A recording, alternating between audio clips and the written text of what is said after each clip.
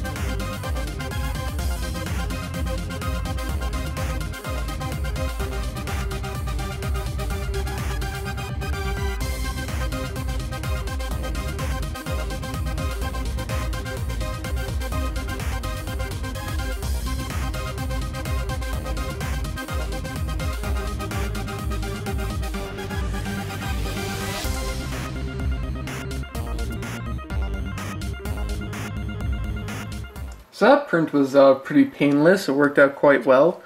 Um, I went with 20% infill and a uh, 0.2 millimeter layer height, and it was about four hours in total, so it wasn't too bad. Um, there's a little bit of uh, top layer isn't very good. Um, you can see some of the holes through it. Um, that's due to the infill not being very strong or not being very um close together. Um, it does have three top layers, but uh, apparently that wasn't enough, so probably a fourth top layer would fix that. So let's uh, assemble this and uh, see how well it works.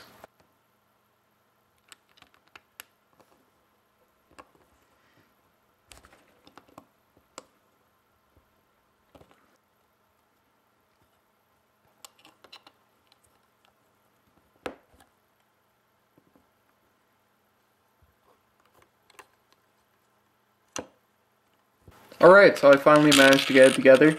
Um, it's not the easiest thing in the world to assemble. Uh, trying to tie the two elastic bands together is uh, quite annoying. Um, and also I don't have two of the same strength elastic bands, so I don't think this thing's going to shoot very straight, but that's fine. Um, so since Canada doesn't really have pennies anymore, I got some uh, dimes here to test it out with. Um, so let's see how well this thing shoots. Alright, so I had the ballista set up about 20-30 centimeters away. So let's uh, load up a dime here and uh, take a shot. Ooh. Doesn't really want to stay in. I'm assuming that's because it's just not uh, right size. That was... That didn't really work. Like flipped upside down. Oh, that was pretty good.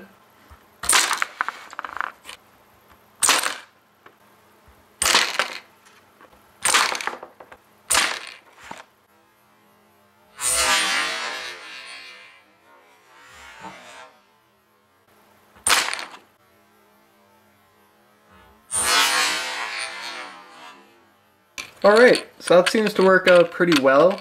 Um, I think if you'd have, if you had uh, proper elastic bands, two of the same kind instead of uh, one thicker and one thinner like I have, and uh, actually had a proper American penny, uh, which is what it's designed for, because the dime kept falling out, um, it's not quite, it's about the same size, um, but it's not quite thick enough, so it doesn't quite fit right, um, but I'm sure if you had those things, it would uh, work a lot better, and uh, it's not a bad little 3D model. Um, construction was good, print was fine. It was a, it's a nice, simple 3D print. So that's all I got for this video. If you liked the video, leave a like. Uh, if you got any suggestions for other 3D models you want to see me print, uh, be sure to leave it down in the comments, and I'll see you next time.